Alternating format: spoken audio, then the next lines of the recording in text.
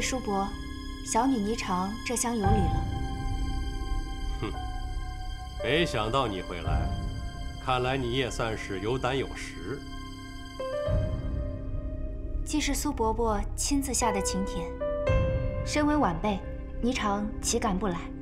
前几日你办过月赏会，雇佣天香楼的舞姬，身着方氏的衣服上台招摇，在光天化日之下搔首弄姿，可有此事？这天香楼的舞姬来我月赏会帮忙，的确有此事。他们只是展示方氏的衣裳，何来搔首弄姿？苏伯伯还是不要以讹传讹了。你雇佣风尘女子为自家店铺助阵，这本身就是有伤风化之举。京城是天子脚下，律法严明，民风淳朴，经你这么一闹，搞得是乌烟瘴气，成何体统？你不知道错，反而还在这狡辩。苏老板说的是，是，此风不可长，就该让他有个教训。对，没错，他有个教训，教训。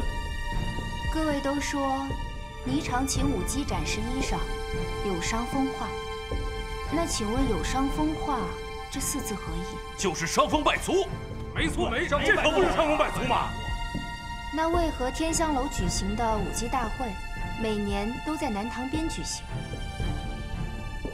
又为何允许普通民众观看？官府还每年向舞姬大会抽取税赋。允许普通民众观看，说明合情；这官府抽税，说明合法。那为何舞姬大会的时候，大家不说他们伤风败俗，我这月赏会却要担此恶名？不管你如何狡辩，你的所作所为已经损害了京城整个绸布业的体面。你们方氏之一步，必须要得到惩罚。苏老板说的极是，必须接受惩罚，必须接受惩罚。那敢问各位，我要受什么罚？